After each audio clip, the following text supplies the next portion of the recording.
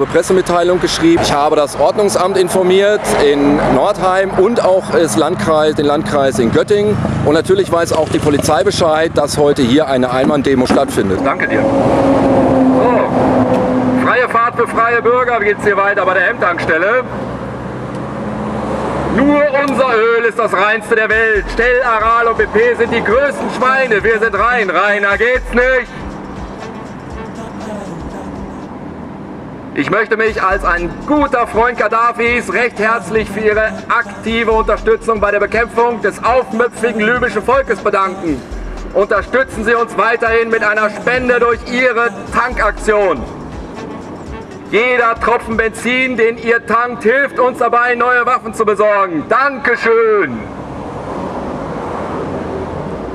Tanken Sie bitte heute wirklich voll.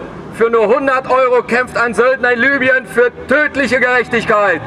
Danke. Und lasst euch nichts erzählen. In Wahrheit steht das Volk natürlich hinter Gaddafi.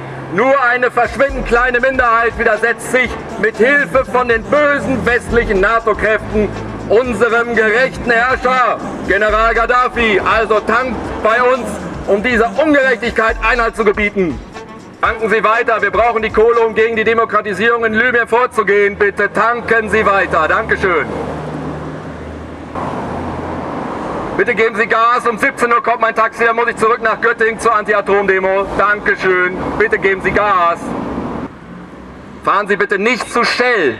Shell, das sind die, die im Niger-Delta rumsauen und da mit irgendwelchen Korrupten und Diktatoren Geschäfte machen. Das geht gar nicht.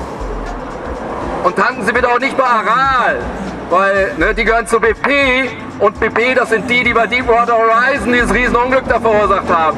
Tanken Sie bitte nur bei M. Wir sind sauber. Danke.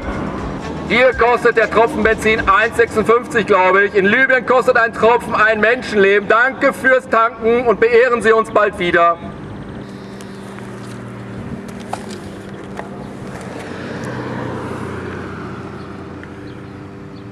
So geht das.